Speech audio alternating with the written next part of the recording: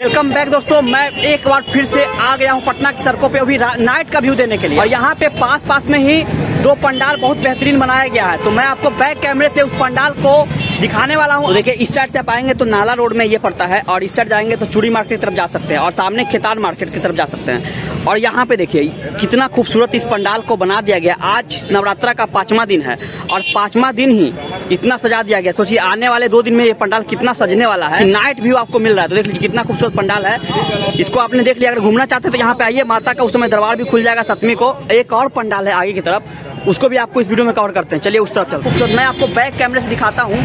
ये पंडाल जो है कितना खूबसूरत बनकर तैयार हो चुका। तो यहाँ पे देखिए, चूड़ी मार्केट में जैसे आप इन करेंगे, उधर से आएँगे नाला रोड की तरफ़ से तो यहाँ पे चूड़ी मार्केट में ये जो पंडाल आप देख रहे हैं, ये जूट के बोरा से बना हुआ है। कितना खूबसूरत नकाशी किया गया, आप देख सकते हैं वीडियो के माध्यम से। इस दशहरा अगर घूमना चाहते हैं तो इस पंडाल में आइए, घूमिए, यहाँ पे माता का दर्शन कीजिए, काफ़ी खूबसूरत ये पंडाल जो है बनकर तैयार हो गया है। और आज नवरात्रा का पांचवा दिन है। सातवां दिन और खूबसूरत हो जाएगा। लाइटें लगाई जाएगी और माता का दरबार खुल जाएगा। आप यहाँ पे आएँगे तो माँ से आशीर्वाद भी ले सकते हैं और अपनी मनोकामना को भी पूर्ण कर सकते हैं। साथ ही साथ दशहरा का मज़ा ले सकते हैं और इस पंडाल को भी देख सकते हैं। दोस्तों यहाँ पे आपने देखा चूड़ी मार्केट का पंडाल, साथ ही साथ नाला रोड के बगल में जो पंडाल है, उसको भी देखा। ये जो है चूड़ी मार्केट का पंडाल मैंने दिखाया आपको।